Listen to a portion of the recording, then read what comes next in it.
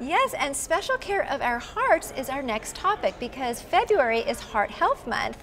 And heart disease is the number one killer of women in the U.S. I don't know if everyone realizes that. Know, it's really serious. So that's why today we welcome cardiologist Dr. Samaan from Baylor Heart. She's going to talk about her new book and how we can help our heart this year.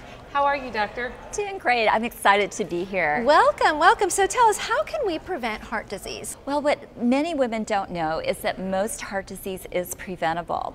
And 70% of that involves a healthy lifestyle, meaning exercising at least two and a half hours a week, eating a healthy diet, not smoking, maintaining a healthy weight, and controlling your blood pressure and blood sugar and cholesterol. So you said that most women will have this even if they're doing the right thing. Well, heart disease is our leading cause of death.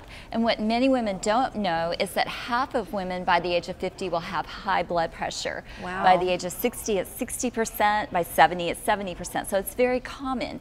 But if you eat a healthy diet and you exercise, you can limit the amount of medication you awesome. might need. And do you have special foods in your book that yes. you recommend? So I do recommend a Mediterranean or a DASH style diet, which involves plenty of whole grains, fruits and vegetables, wow. healthy oils, low fat protein like fish or poultry, and a little bit of wine if you like it. Yay, we Yay. can do wine. What's that? well, this book is certainly going to be a lifesaver for so many people. You can find it at Amazon.com and BarnesandNoble.com. So thank you for being Thanks, with us. Doctor. Oh. We appreciate it.